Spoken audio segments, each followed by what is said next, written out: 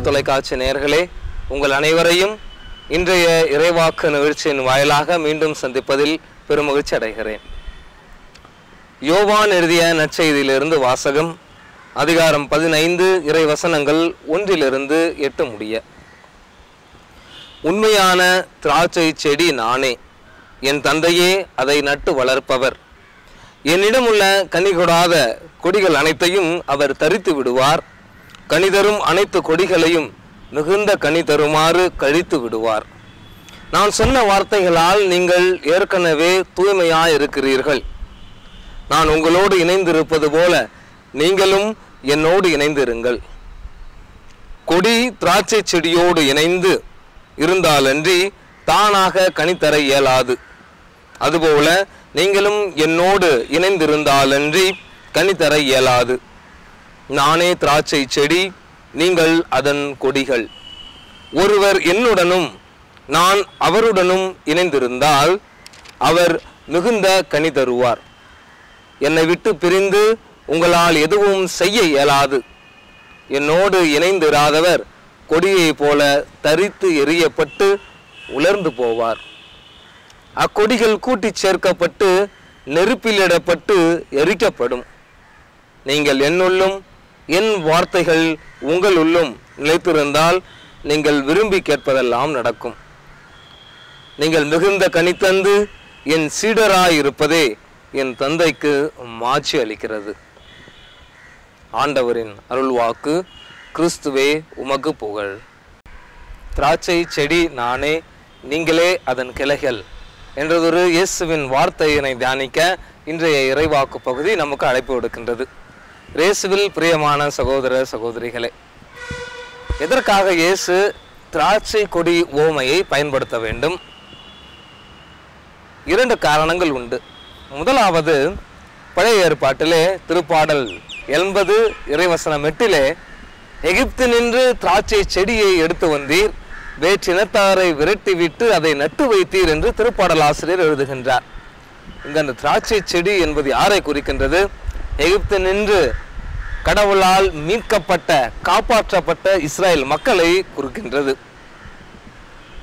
பிரியமானவர்களே இதன் பின்னணியில் தான் நமது ஆண்டவர் இயேசு கிறிஸ்து அந்த திராட்சை செடி உவமையை அந்த இஸ்ரேல் மக்கள் அந்த பின்புலம் கொண்ட அந்த திராட்சை செடி பின்புலம் கொண்ட அந்த யூத மக்களுக்கு பயன்படுத்துகின்றார்.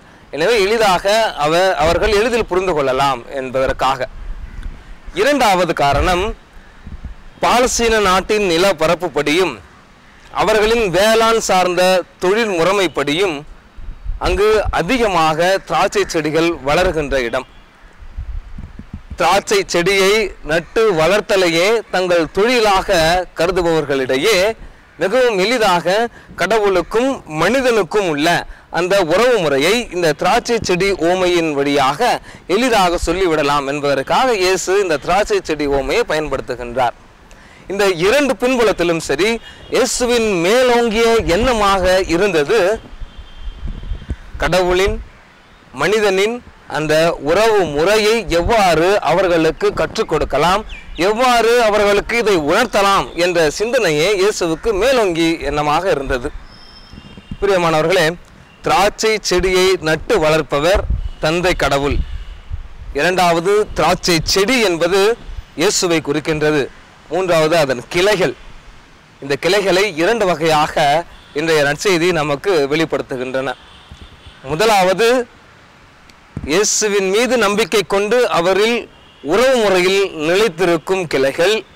மற்றொரு கிளையானது இயேசுவின் மீது வெறும் வெற்று நம்பிக்கை மட்டுமே வைத்துள்ள கிளைகள்.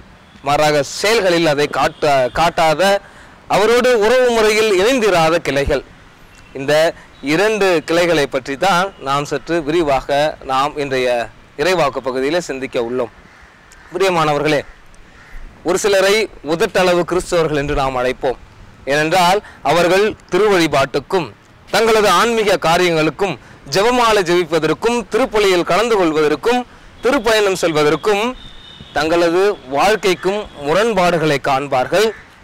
இவ்விரண்டிற்கும் தொடர்புகளை காண முடியாதவர்கள். அவர்கள்தான் இயேசுவின் மீது நம்பிக்கை கொண்டவர்கள் ஆனால் அவரோடு உறவு முறையில் நிலைத்திராதவர்கள். அந்த கிளைகள் தான் வெட்டி எறியப்படும் நெருப்பிலிடப்படும் என்று நமது ஆண்டவர் இயேசு கிறிஸ்து கூறுகின்றார்.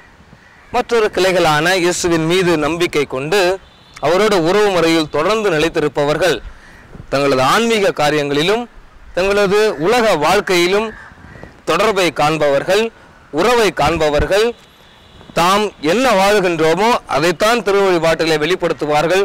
திருவழிபாட்டிலே யாரை தொழுகிறார்களோ அவர்களுக்கு தான் அவர்கள் உதவி புரிவார்கள்.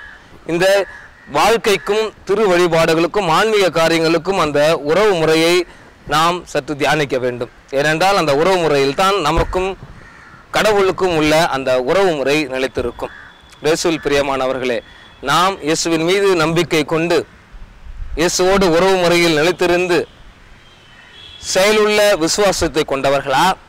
அல்லது வெறும் விசுவாசத்தை மட்டும் கொண்டு செத்த நம்பிக்கையை கொண்டவர்களா என்பதை தியானிக்க இந்த இறைவாக்கு பகுதி நமக்கு அழைப்பு விடுக்கின்றது.